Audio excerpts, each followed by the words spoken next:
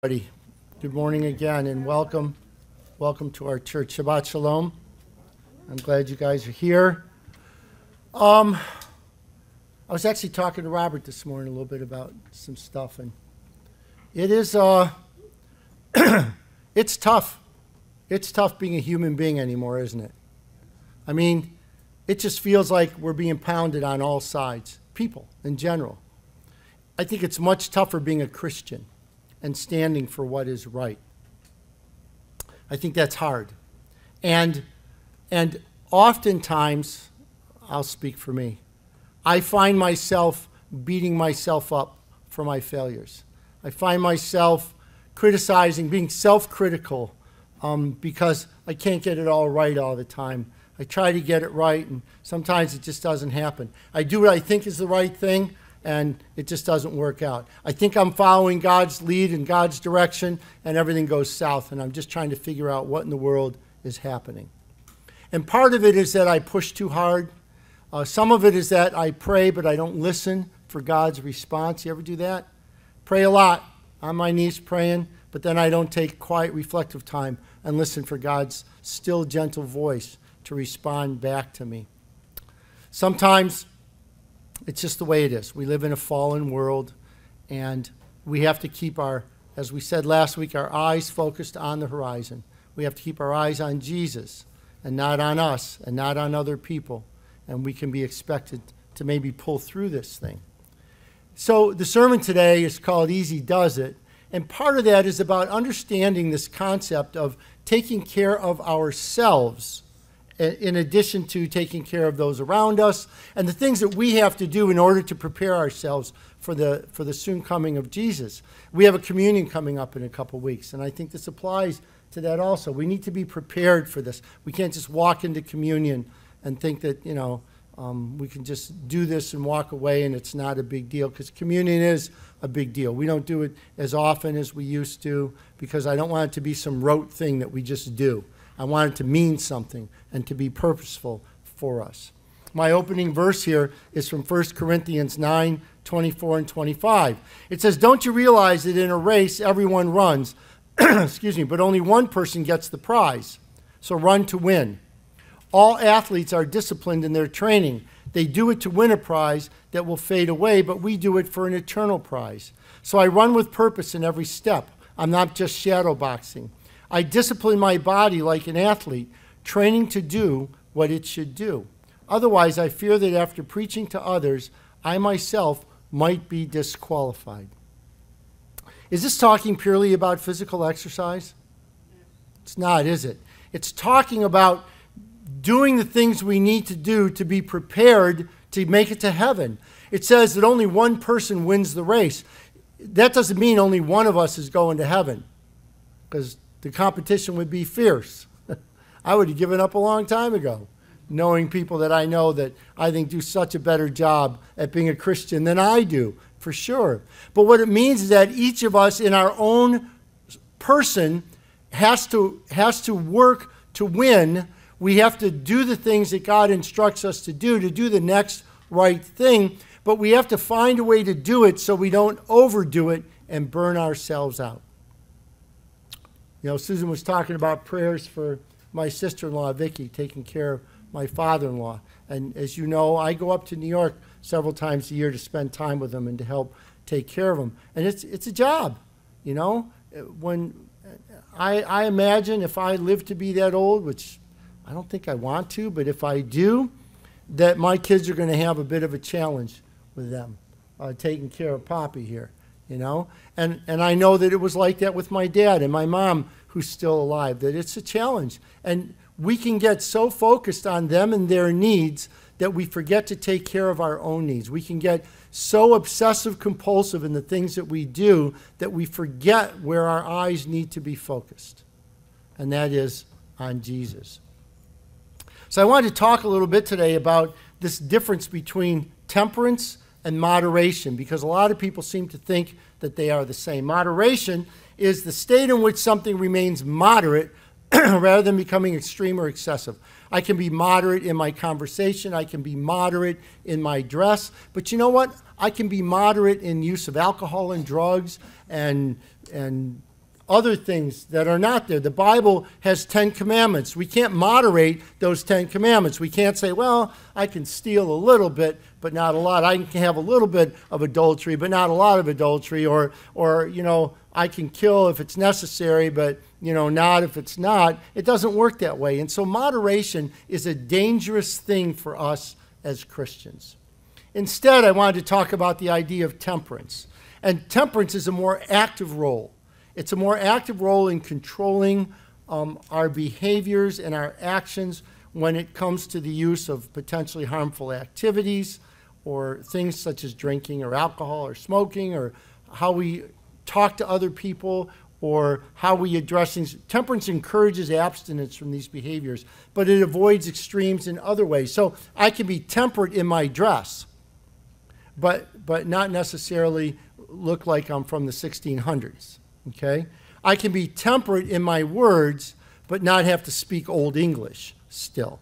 I can be temperate in my eating, but it also means that I shouldn't be eating things that are bad for me or that are prohibited to eat in the Bible as well. So temperance is a more active role that we take pretty much as Christians. Now, it doesn't always include abstinence because it can't. Do we need to eat? We need to drink? We need to exercise. We need to be involved in relationships. sometimes we go, no. We'd probably be better off sometimes if we weren't. But that's the way it is. We are involved in relationships, and we have to be temperate in the way that we address those things. My friend Henry used to say that it's about something called equanimity, it's a balance in our lives and the way that we do things. 2 Peter 1 5 to 11 says, In view of all this, make every effort to respond to God's promises. Supplement your faith with the generous provision of what? Moral excellence. And moral excellence with knowledge, and knowledge with self control, and self control with patient endurance, and patient endurance with godliness, and godliness with brotherly affection, and brotherly affection with love for everyone. I mean, isn't that great? That's a moderate way, that's a temperate way for us to, to address our relationship with other people and for us to move through this world. It goes on to say the more you grow like this, the more productive and useful you will be in your knowledge of our Lord Jesus Christ. But those who fail to develop in this way are short sighted or blind, forgetting that they have been cleansed from their old sins.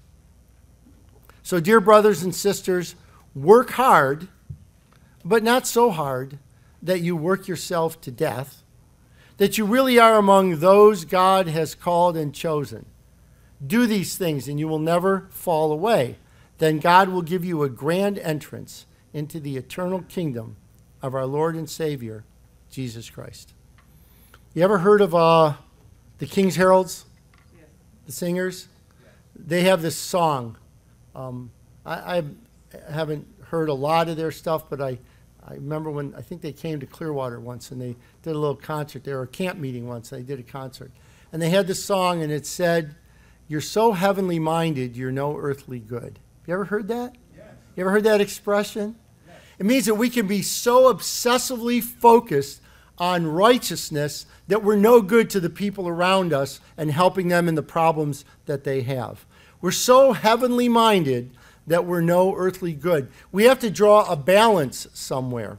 Relationships, I think, is the biggest place where we get taken out. I really do. We get into a situation where we become um, obsessive or obsessed in our relationships or codependent in our relationships with another person. We put all of our faith in that person. We put our salvation in that person's hands. And then when that person um, defies our trust, which it's going to happen, any of you that have been in relationships or been married, um, you know that there are times when that relationship goes south, when we feel like the trust has been violated, because we are human beings and we are subject to human frailty. And the moment that we take our focus off of God and we put it on another person, we set ourselves up for failure. Temperance is not abstinence from relationships. It's having relationships and trusting other people, but putting our focus and our trust in who?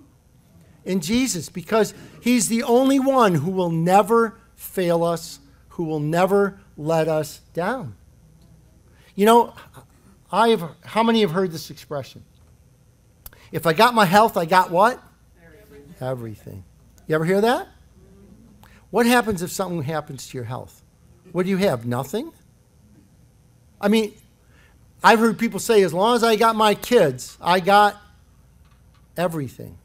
And then we lose a child, what happens? We got nothing. Because we put our focus and our faith and our, and our trust there. I've heard people say, hey, you know, as long as I got my job, I got everything. And then we lose our job, and what do we have?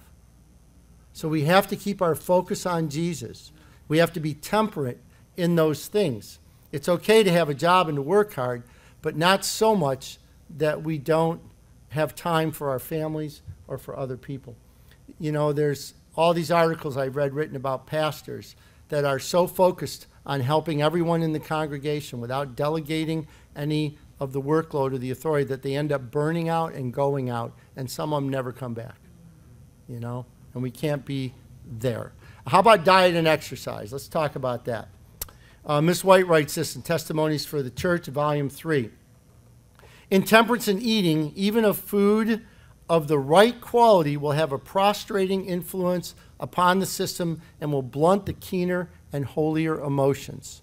There are so many studies out now um, that I've been reading about um, having a lower calorie intake. You know, they, they say, like, you can go and look it up. I can go and look up what my basal um, resting metabolic rate is. And for me, it doesn't work because my, my resting metabolism, my resting metabolic rate is just a hair north of hibernation, actually.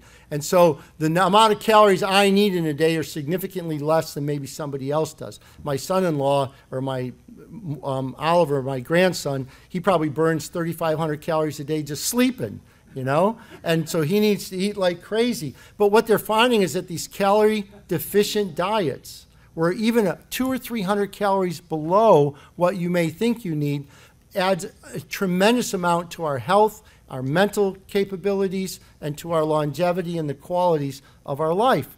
It says strict temperance in eating and drinking is highly essential for the healthy preservation and vigorous exercise of all functions of the body.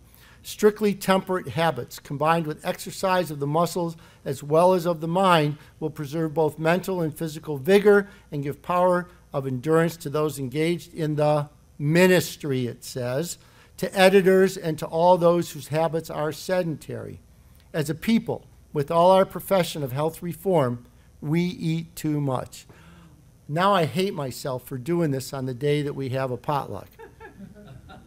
I wanted to say that ahead of time because you'll probably hate me too. As a people, it says, with all our profession of health reform, we do what? We eat too much. Indulgence of appetite is the greatest cause of physical and mental debility and lies at the foundation of the feebleness which is apparent everywhere. I found out something about eating too much. I never had a clue how much I really depended on food and eating because I never considered myself much into food until I had that surgery in February and I've been on a feeding tube for four or five months almost. I was on a feeding tube and I could eat nothing except stuff I could get into the tube. And I was so hungry sometimes. And after a while, you know, it actually went away.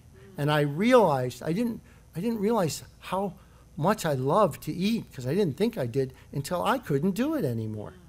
And it really was an object lesson for me. And now I have not gone back to eating the way that I used to. I, well, part of it I can't, but I probably won't anyway because I have never felt better than I did when I was on that feeding tube. It's not a good diet. I don't recommend it for anybody, you know. And I thank God I've gained some of that weight back now because I was getting to be starvation mode. But, but you know, I don't think we realize it sometimes because we get so caught up into it. We need to exercise self control. I want you to remember this that it was at the banquet after King Ahasuerus stuffed himself with food that he wanted Queen Vashti to start doing those inappropriate dance moves, right? That's when that happened. And if you remember, how did, how did Esther um, um, get the king to do what she wanted him to do. She stuffed him full of food first. Food is a drug, guys. And if we overeat, it is such a violent abuse to the human body. And we become drugged from it. And, and we, we're no longer able to focus as clearly as we did before. And I guess, I guess Esther knew that. And she stuffed him with food and drink. And then she asked him for the favor, and she got everything she wanted out of him. You know? They say the way to a man's heart is what? Now, I, I learned that out. I learned that because with the stomach tube, actually, that was the way to my stomach, was right through my stomach. But it's not the way to our hearts. The way to a man's heart should be what? His love of Jesus. That should be the way to a man's heart, not food. Proverbs 23 1 to 3 says, While dining with a ruler, pay attention to what is put before you. If you are a big eater, do what? Put a knife to your throat, it says. Don't desire all the delicacies, for he might be trying to trick you. That's what happened with Vashti, wasn't it? That's what happened with Esther. That's exactly right. How about excessive exercise? Should we be exercising? Yes, we should exercise all the time. I walk a lot because I can't do much more, but you know, I was averaging around 20,000 steps a day. It was too much. I'm back down a little bit to 15. Even that sometimes feels like a lot. You know, we should be exercising, but if we exercise too much, so so here's the thing: exercise temperately builds our immune system. You want to be resistant from all these diseases out there? If you eat properly and you exercise temperately, your immune system will be at its peak function. But if you don't exercise enough, what happens to the immune system? It goes down. What if you don't eat properly? Yeah. You know, one tablespoon of sugar, which is about what there is in half the drinks that people tend to drink, one tablespoon of sugar can shut down the immune system, can cause it to drop by 70% for up to five hours. You want to not get COVID? Cut all added sugar out of your life right now until we can get through this thing because sugar um, kills your immune system. And unfortunately, so does excessive exercise. In a study published in the August 1995 issue of Medicine and Sciences and Sports and Exercise, Dr. J. Duncan McDougall and colleagues investigated the effects of training on the immune system of distance runners. I used to run marathons. I used to love it. But I would always get sick afterwards because I would train too hard and I would burn myself out at those marathons. The runners' immune systems were depressed more by increasing the intensity than by increasing the volume. 2% of the volume runners got sick during the post marathon week. 13% of those who trained at high intensity got sick. Doesn't mean you can't run a marathon, you just can't run one every week. And you can't run it in four hours or three hours if you want to be, um, if you want to stay healthy. How about in our daily lives? Let me ask you something. Is a little bit of adultery okay? just a little bit? No? How about just a little bit of stealing? What if I go into Walmart? They got tons of money, and I, I just take an inexpensive item. Is that okay? How are we going to witness to the holiness of Christ if we're not holy ourselves? if we don't abide by the Ten Commandments, how do we witness to other people about the importance of it? It's not about perfection. It's about progress in our lives. It's about committing each day that we wake up and we hit our knees and we ask God to guide us in the way that we conduct ourselves today. It's okay. Um, uh, Self control is part of the fruit of the Spirit. But you know what I like to do? I, I, I saw this car and it had a bumper sticker. It said, Jesus is my co pilot. That's terrible. Because if he's my co pilot, he's in a world of hurt. Jesus is my pilot. And if I'm blessed enough, I'll be his co pilot. I'd rather have him driving in the car down 19 than me. I'd be more comfortable in the passenger seat if Jesus was driving than Jesus would be in the passenger seat if I was driving. I can promise you that. I need to make sure that when I make my decisions, here's what I try to do.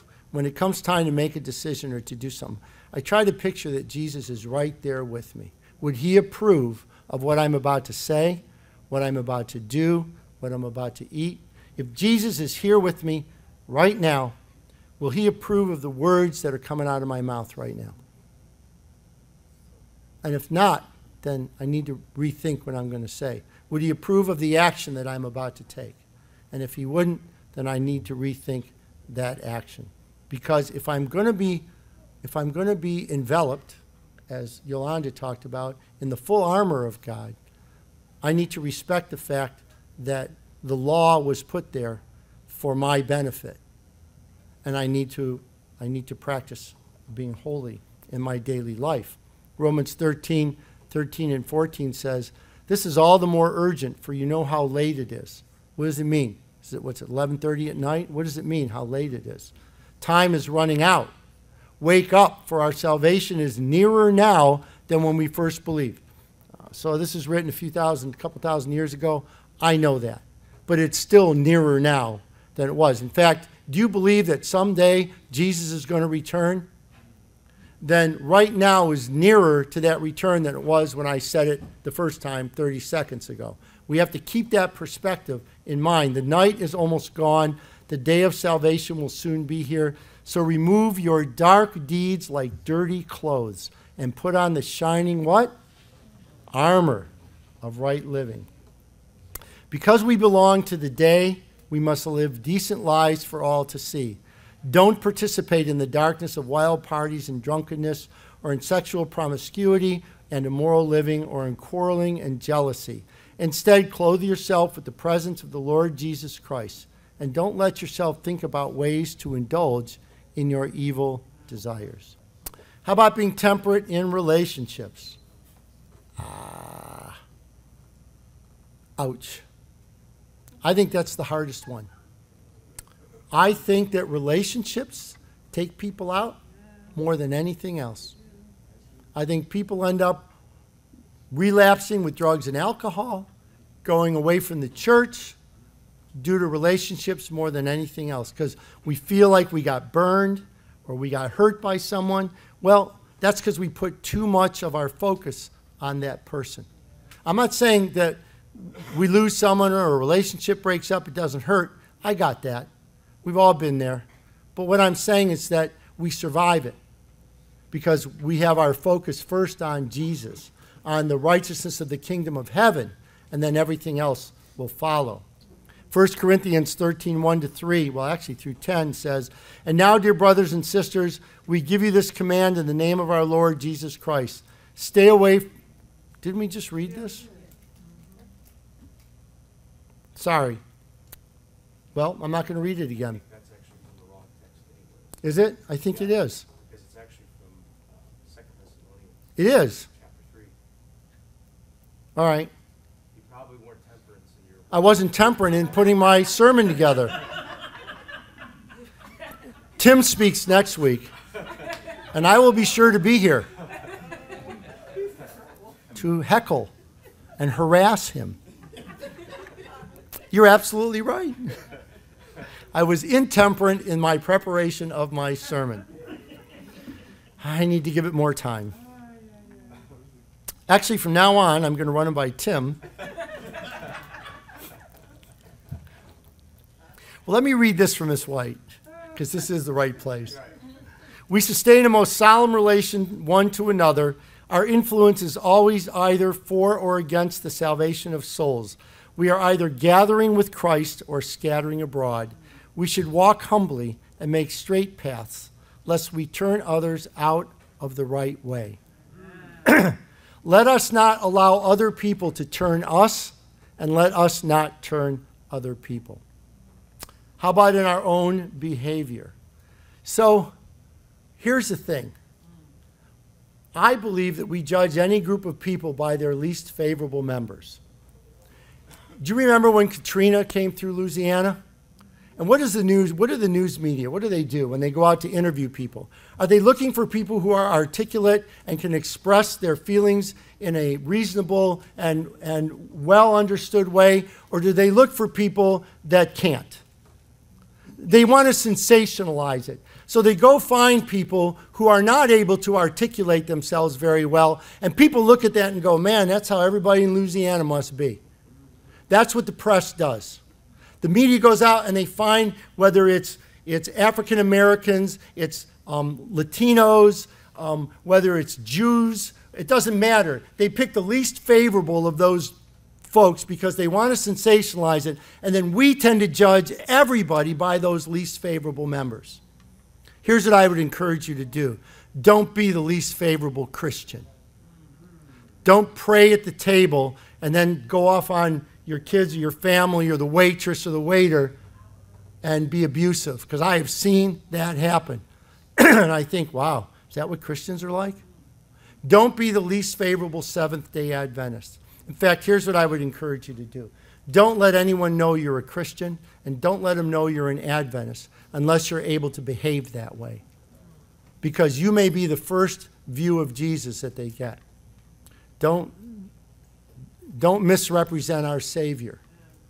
Just say nothing, and that would be better. As a Christian, we have an obligation to behave in such a way that we display our relationship with God as positive, that people see Jesus through us.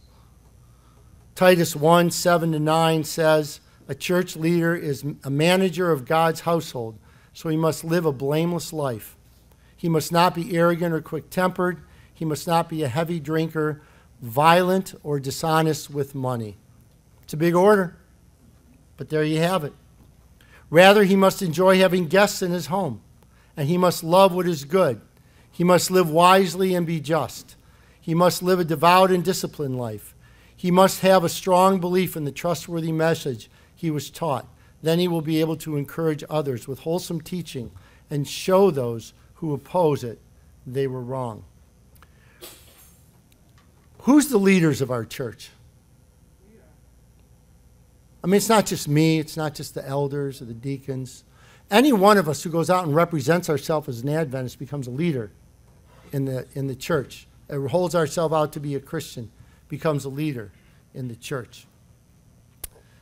Miss White writes Remember that the exercise of faith is the one means of preserving it. Should you sit always in one position without moving, your muscles would become strengthless and your limbs would lose the power of motion. You ever have your foot fall asleep because you sit too long in one spot? You go to stand up, that's embarrassing. The same is true in regard to your religious experience. You must have faith in the promise of God, in the promises of God. Faith will perfect itself in exercise, and that's exercise of faith, by the way, and activity, which is the activities that we perform practicing our faith. Remember what our primary purpose is. Hebrews 12, 1 to 4 says, Therefore, since we are surrounded by a huge crowd of witnesses to the life of faith, let us strip off every weight that slows us down, especially the sin that so easily trips us up. And let us run with endurance the race that God has set before us. We do this how? By keeping our eyes on Jesus. Keep your eyes on the horizon. The champion who initiates and perfects our faith. Because of the joy awaiting him, he endured the cross, disregarding its shame. Now he is seated at the place of honor beside God's throne. Think of all the hostility he endured from sinful people. Then you won't become weary and give up. After all, you have not given your lives in your struggle against sin. If you're a parent and you oft times or sometimes have strong resentments towards the way your children treat you and behave, think about our Father God and the way we disappoint him and let us act with the same grace and love towards our children that He does towards us, even in those times of grave disappointment. In closing,